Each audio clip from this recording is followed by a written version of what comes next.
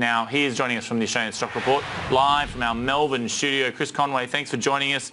Well, when you agreed to come on, we didn't know that this was coming, although it has been relatively well flagged that we would be looking at at least a downgrade in outlook, if not an actual downgrade in credit rating. Any surprises that S&P has chosen now to do this, even before we've seen who the next government will actually be?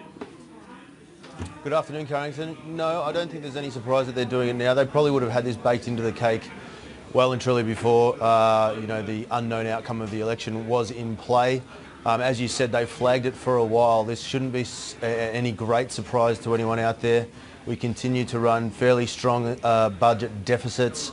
Um, and you know the, the, the, lack of result from the election mm. was maybe the final icing on the cake. But like I said, I think that would have been baked in before uh, you know we were in the midst of not knowing who was going to govern our country.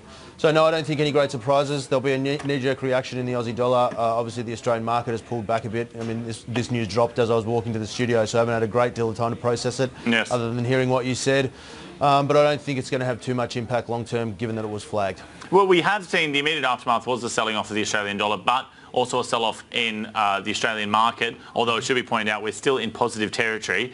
How, how, big an impact generally would you say that ratings agencies chatter about the Australian economy, but and also their actions to either downgrade the outlook or, or actually downgrade do have on the way that investors assess the value of different stocks? Can we expect a bigger impact, do you think, as the afternoon goes on? Or do you think that people take it all with a grain of salt these days?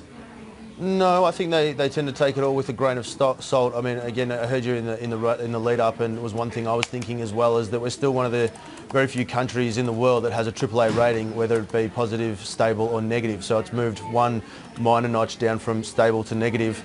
Um, it, it, will have an impact on the Aussie dollar. Maybe some people are going to think about how they treat companies with uh, offshore earnings, whether they are accumulating or um, shedding them from their portfolio. Um, but ultimately, no, I don't think it's going to have a great impact on the equity market. Okay, let's turn our attention to maybe some of the, the more specific sectors that we could be looking at the moment. I, am interested in your take on, on the oil price generally, but also I know that you're looking at Santos. You think it might be a, a buying opportunity at this point. Talk us through this. Is this a mac, as a macro player, are you believing that oil does have somewhere to run or at least it's, it's, it's bottom out for the short term or is this a Santos specific story?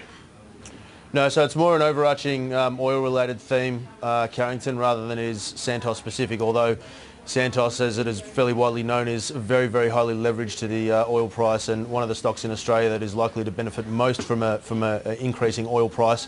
But no, the thematic is more the, um, the macro in the sense that um, the supply demand and demand dynamics in the oil market are changing and continue to change. Um, we've seen fairly consistent draws in um, in the US uh, recently um, with regard to stockpiles. Rig count in the US still remains uh, well below where it needs to be to sustain um, production at current demand levels. Now, obviously, that's just US centric. Um, but you know, there's the ongoing talk with regards to Saudi Arabia and uh, the other OPEC nations and what they might do. So I think now there's a floor under oil. Mm. Um, I see 44 to 46 as a buying opportunity. Anytime it's dipped back there recently, it has spiked back up towards the 50 handle. But I think we ultimately get above that level, and again, it's because, you know, unlike the iron ore market where you know production still far outstri- outstrips demand, there are changing dynamics in the oil market. Now, it might take until early 2017 for that market to move back into equilibri- equilibrium. But of course, markets are forward-looking, so they're going to see that, and I think the oil price will continue to rally off the back of that. Uh, we, we have just finished a financial year. One of my one of the most interesting takeouts for me was that if you were in energy last year, you got hammered. It was the worst performing sector on the Australian market. Do you think a lot of investors who have been burnt so hard by, or burnt so painfully, I should say, uh, last year by playing the energy space are feeling reluctant to jump back in at this point? And does that potentially also help the argument about why it would make sense to, to buy in if other people are potentially undervaluing it? Yeah, look, I think uh, Carrington um, uh, investors who are, have been holding oil and maybe even are still holding Woodside, which really hasn't participated in the oil rally at all would be very reluctant to, to jump back in. But, you know, we have seen oil down as low as $30. It's now back in the 45 to 50 range. Um, so it's a good rally that we've seen uh, in the last, well, three months really.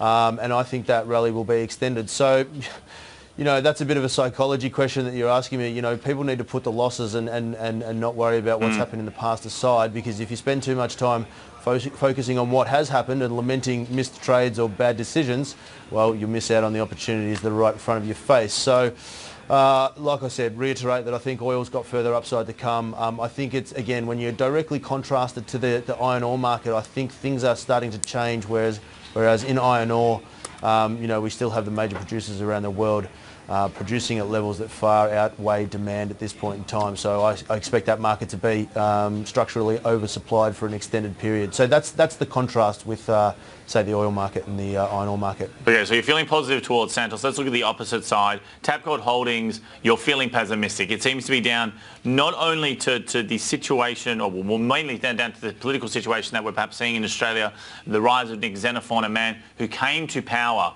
uh, in large part in South Australia, or came to prominence, I should say, uh, in, in large part because of his anti-pokey stance. We know that he's, uh, he, he wants to target problem gambling. Also, there is some breaking news that, oh, that we're about to hear, we believe, uh, here in New South Wales, for example, Mike Baird, which I know you won't be on top of, which is an announcement in regards to the greyhound industry following uh, the inquiry that we've seen um, into the greyhound industry. There may be big changes there, potentially closing out. We're going to wait to see what that happens. It's happening in the next five minutes or so. But there does seem to be so much uh, controversy, so much potential changes in this industry. Are you just staying well away from all gambling stocks?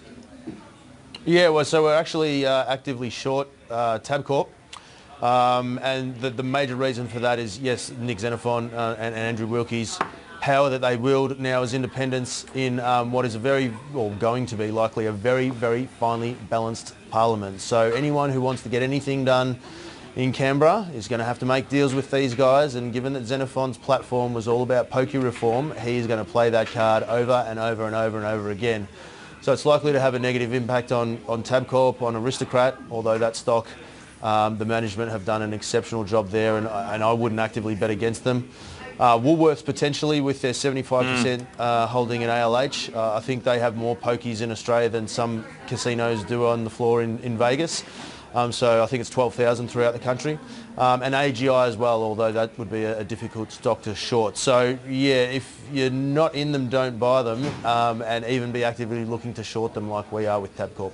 Okay, well, let's turn to one of the, the sectors that has run pretty hard of late, which is gold. It, it, the yellow metals, both of them, both gold and copper have been doing pretty well of late, but gold for, for most of this year has been on a bit of a, it's a pretty impressive looking chart at the moment. What, what, are you seeing though as far as how this has played out? Australian miners in particular have run really hard. That's both because of, both because of the rising price of gold, but also they've managed to, to pull a lot of costs out of their business. Their margins have been improving, but so have their stock prices. Is it starting to look frothy to you? Yeah, it is looking uh, looking frothy to me. Um, the gold price and indeed, you know, uh, as you mentioned, Australian gold miners. We were in Northern Star um, until recently when it went parabolic and a couple of indicators started flashing up suggesting that it was overbought. Um, but yeah, I'm, worried about the gold price, not because I don't think that it, it, it, can, it can't keep going, but because it's becoming an overcrowded trade.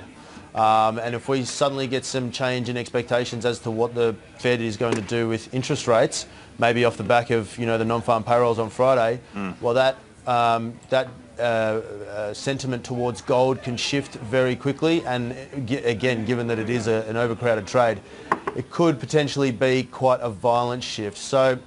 Look, there's a, there's a couple of ways to play it depending on your time frames. If you're a trader, I guess you know you keep riding the momentum until the, until the tide turns. Um, you can put your stop loss in and, and you'll get busted out when you get busted out. If you're medium to long term, I think that overcrowded um, element needs to be a fairly big piece of your analytical pie and you'd be worrying that, like I said, a shift in sentiment um, could see that unwind pretty quickly and pretty violently. Okay, well, we are going to be watching that. As I said, we are going to be watching to see what happens with this. The Greyhound uh, racing, it looks like New South Wales will be closing it. So if you're short on Tabcorp uh, is in place already, that could be also beneficial to you. I'll leave you there. Thank you so much for your insults. Thank you. Thank you for your insights, not insults.